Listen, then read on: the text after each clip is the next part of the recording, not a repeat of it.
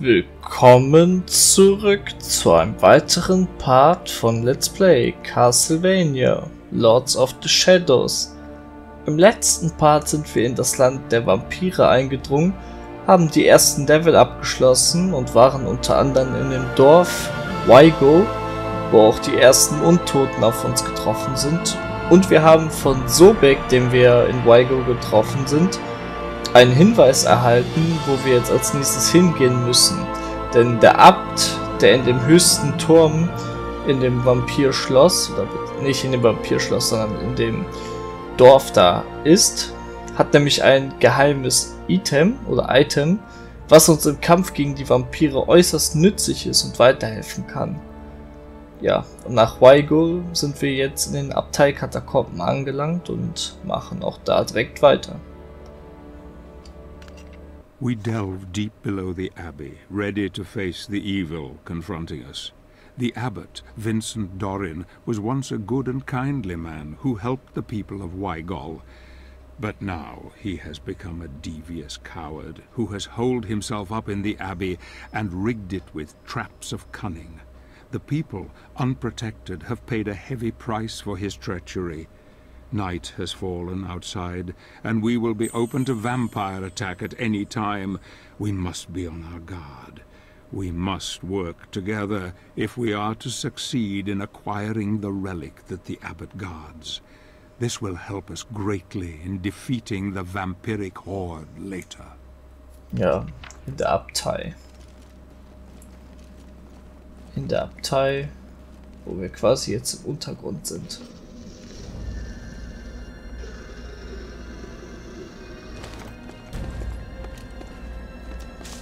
Blut. lecker.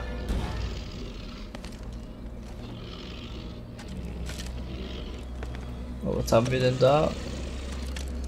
Vampire.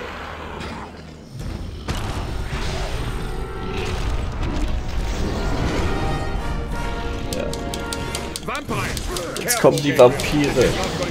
Mit einer der coolsten Gegner im Spiel die aber auch relativ stark sind.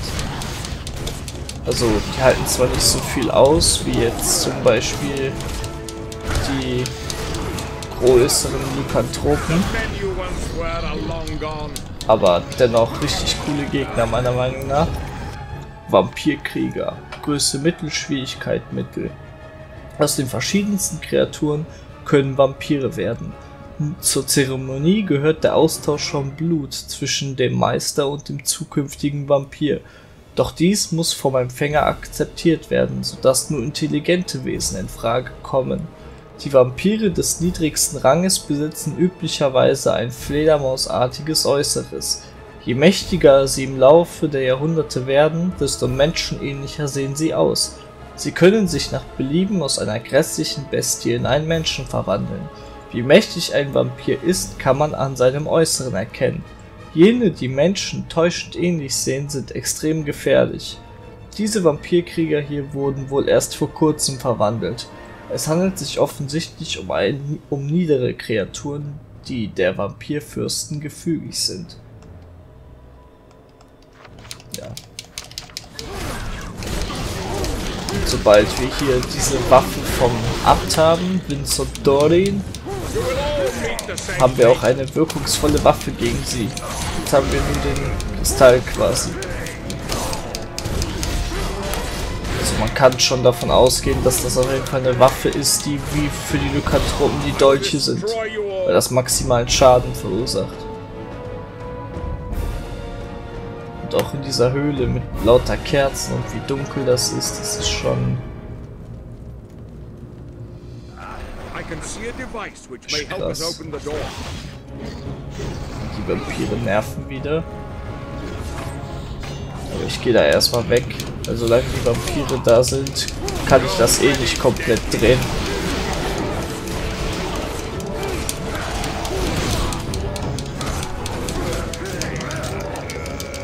Ah, Vampir, du wirst mich nicht fressen.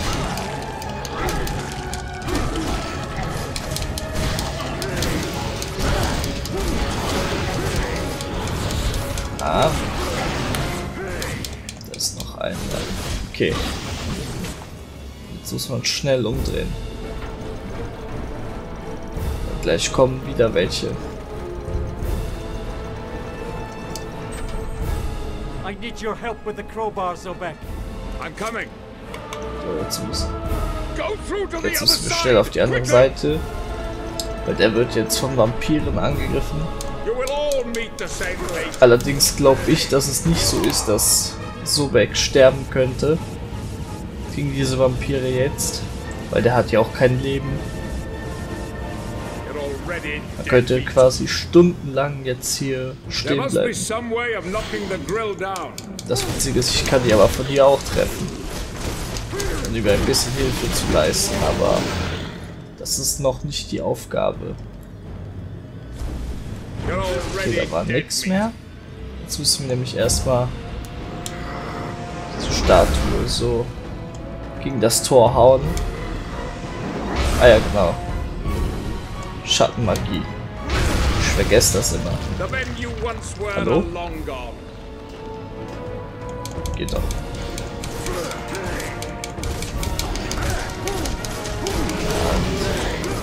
Hinterher nur noch nervig.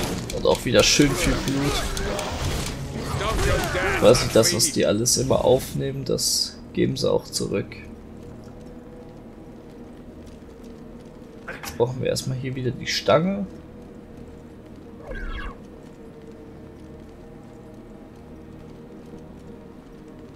That bastard Abbott has protected himself well. We need two keys to get out of here. Zwei Schlüssel. Ja, ich muss das jetzt erstmal so machen. Weil diese zwei Schalter, die man rechts jetzt gerade gesehen hat. Hallo?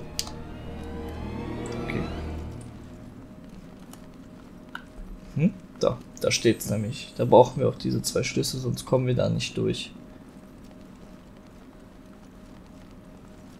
Und hier sind ein paar Fallen auf jeden Fall. There is one of the keys we need. Jawohl. Den holen wir natürlich. Ah, ich bin so doof. Die Stange hätten wir mitnehmen müssen. Dann holen wir die mal ganz kurz. So, hier bitte her. Wie gut, dass sich das Tor auch nicht schließt. Sonst hätten wir nämlich ein Problem bekommen.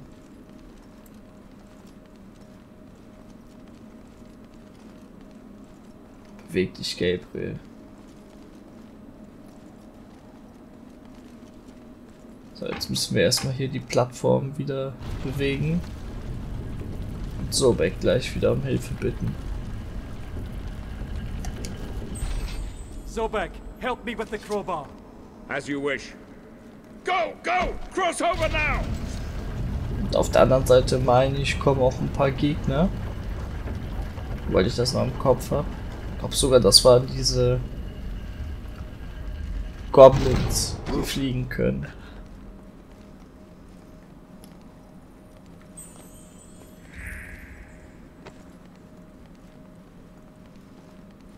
Hier ist noch ein Ritter, genau. Lebensstein. Okay, doch keine Goblins. Hatte das noch so in Erinnerung. Oh, der ist leider so langsam. Wahrscheinlich scheint diese Keule da echt ein bisschen schwer zu sein. Selbst für Gabriel.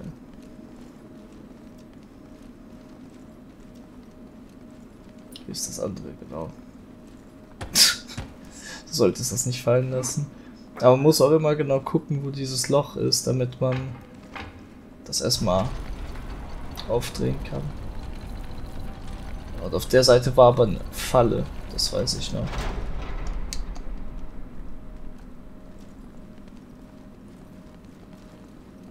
Man sieht hier nämlich diese Steine.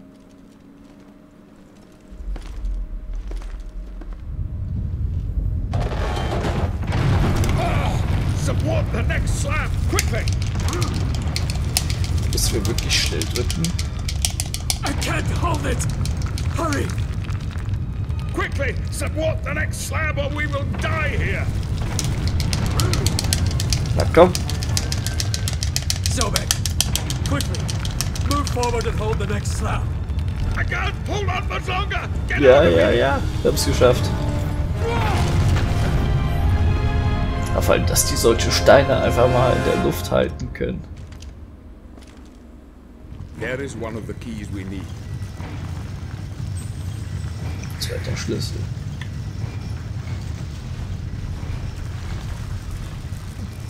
Na komm, geh hoch. Dankeschön. So. Erster Schlüssel, zweiter Schlüssel.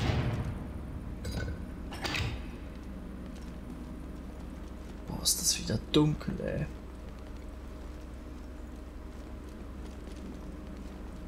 An sich finde ich das ja nicht immer schlecht, aber in gewissen Situationen, jetzt hier zum Beispiel.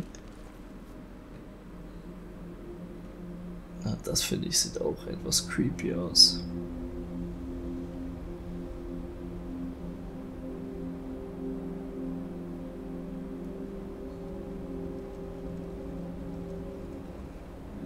Und diese Musik dazu.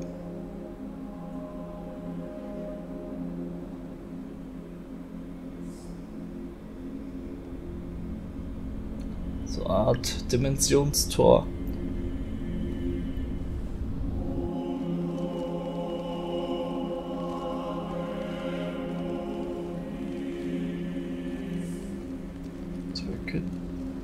There is a strange device here. können wir zum Beispiel in die Mitte. Holen wir uns erst erstmal vom Ritter die Schriftrolle. Ja, dieser verfluchte Abt, ein Diener des Herrn, der solch teuflische Magie anwendet. Irgendwie sind dieses Gerät und das Portal, das mich stets wieder zurückschickt, verbunden. Aber ich finde einfach nicht heraus, wie. Und zwar folgendermaßen, wir müssen gleich erstmal wieder so einen Stab finden. Wenn man sieht, wenn man hier durchgeht, kommen wir daraus, wo das Siegel ist. Ja.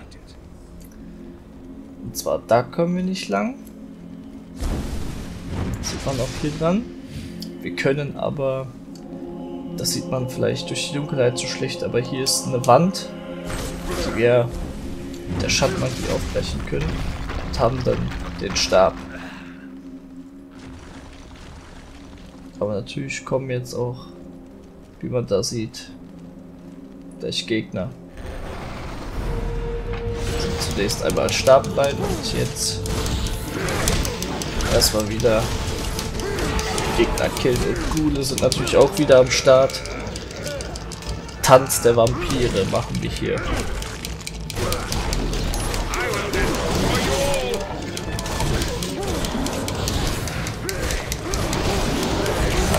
Ganzen untoten Viecher, die sind schon echt krank. Aber leider können wir die Löcher auch nicht schließen, weil es hier keine Bäume oder Statuen oder sonstiges gibt. Ah. Dein, dein Schmodder. Nein! Dammig.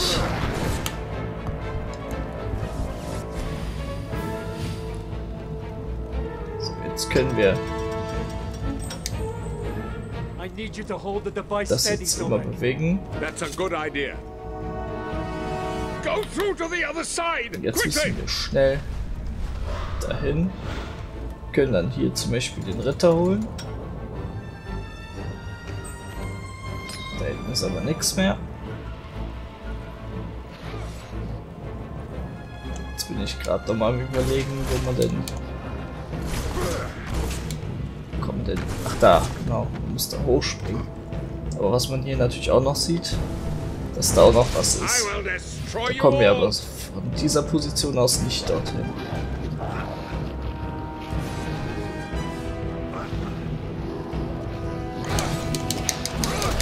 Mann ey.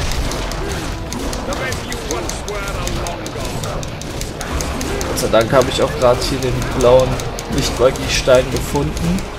Und wenn man mal überlegt, dass hier gerade nichts mehr vorhanden war, dann hilft mir das auf jeden Fall, um das doch irgendwie zu schaffen. So, letzter Ghoul, weg mit dir. Ach du Gesicht. Du bist einfach nur ein ekelhafter Drecksuder, niemand braucht. So, jetzt können wir dahin. Und wir gehen auch dahin. Hold the Weil wie man das schon sieht, wie weit hinten das ist. Ja, alter Mann. Ich beeil mich ja schon.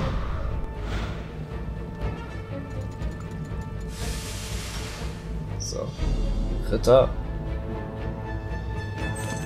Komm, lesen wir mal schnell das Tagebuch hier.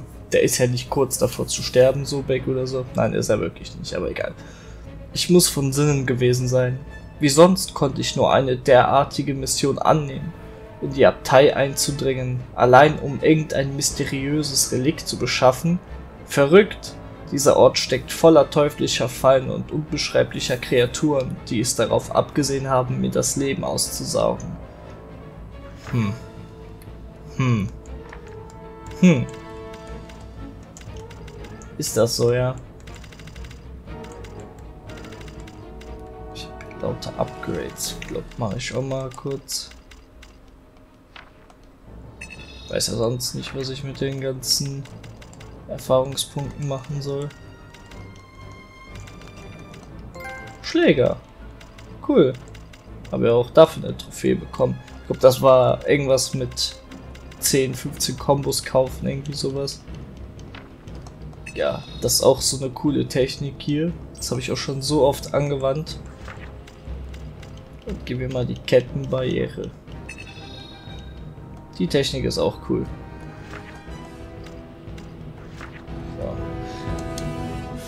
Dann machen wir jetzt erstmal das Tor auf, weil Sobek möchte ja auch irgendwie entkommen.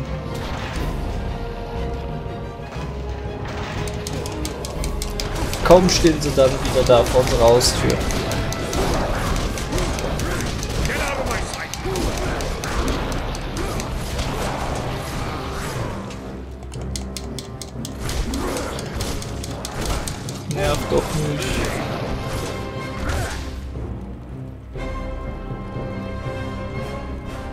So.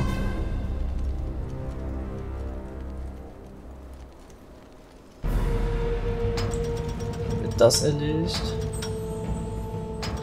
Das haben wir erledigt. Ja, jetzt fehlt nur noch das. I need you to hold the device steady, Zobek. Hold on, I'm coming. Ja, ich beeil mich.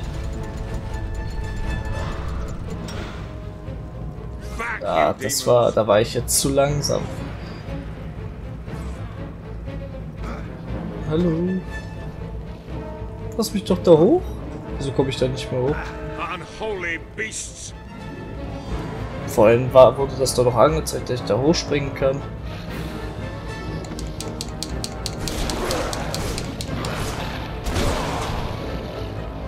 Achso, lol, ich musste erstmal da hoch.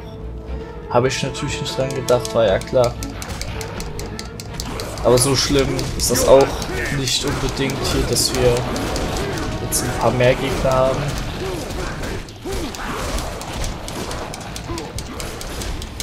Sterben werden wir eh nicht. Es ist halt nur die Frage, wann wir das Level halt beenden.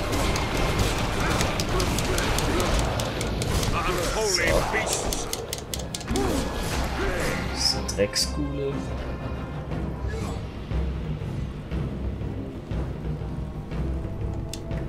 Cursed creatures!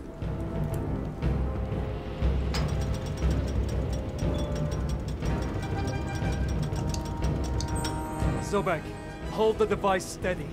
That's a good idea.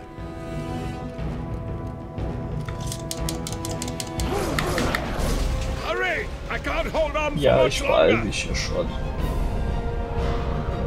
Well done.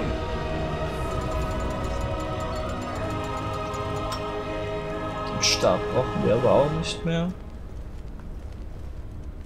Und damit haben wir das Level geschafft. Gut. Wollte ich gerade sagen, ja doch Lichtmagie und Lebensstein. Sehr gut. Das ging jetzt aber auch wieder etwas länger. Und die Abteibibliothek wird auch wieder ein längeres Level sein. Deswegen beende ich diesen Part an dieser Stelle. Ich hoffe, euch hat es gefallen und ich würde mich freuen, wenn ihr das nächste Mal wieder dabei seid. Haut rein, Leute. Bis dann und tschüss.